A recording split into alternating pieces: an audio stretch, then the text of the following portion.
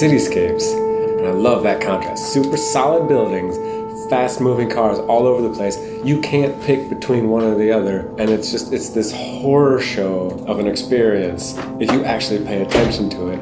And most of the time when I'm walking around looking at these scenes, it's I'm by myself walking from place to place, just sitting there while this like war is going on all around me. All these noises, things, lights, everything. And I think it's the most beautiful symphony when you freeze it and then depict it as a frozen moment of that violence. And so I think a lot of the violence while I'm painting, I mean, all that energy that's coming out of those brushstrokes and throwing shit at the at the panel and beating out of it. That's the only way you're going to capture a city.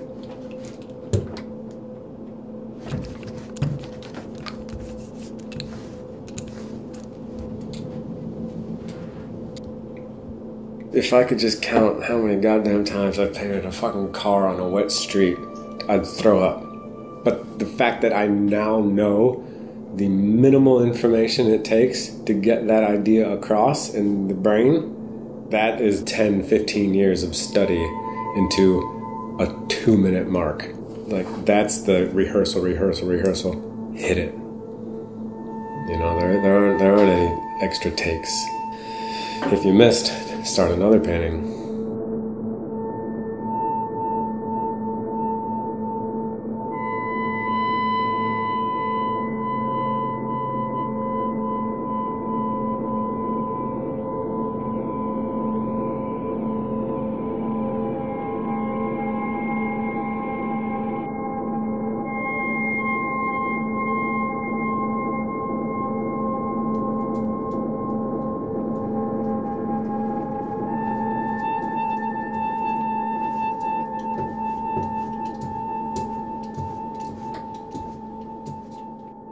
It's that weird double-edged sword it's that catch 22 that my life is painting and i paint the things that happen in my head. It's not like these things happen in real life. It's not well, i guess it is kind of women do come over and get dressed up but it's not it, there are so many stories that people have about my life that are not true. Like ah, i'll let that ride.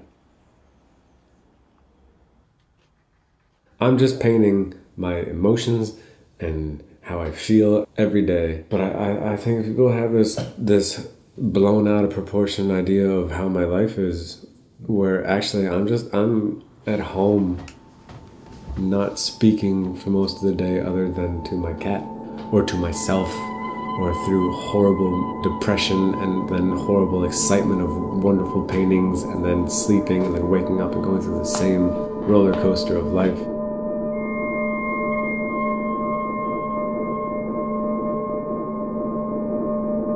When I'm painting the figures, it's it's very soft, it's gentle and controlled with nice rhythmic movements, and then the areas around it are going to be, you know, violent and aggressive.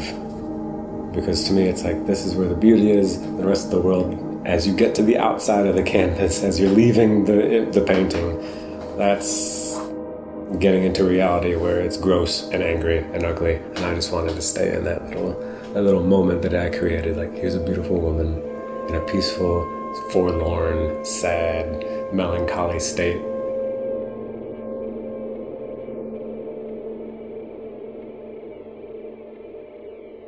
Back in the day, when women would dress up well, it's because their body shape is pretty much the most beautiful fucking thing on the planet. Their curves are meant to naturally attract men to make life. I mean, if you want to make it that basic.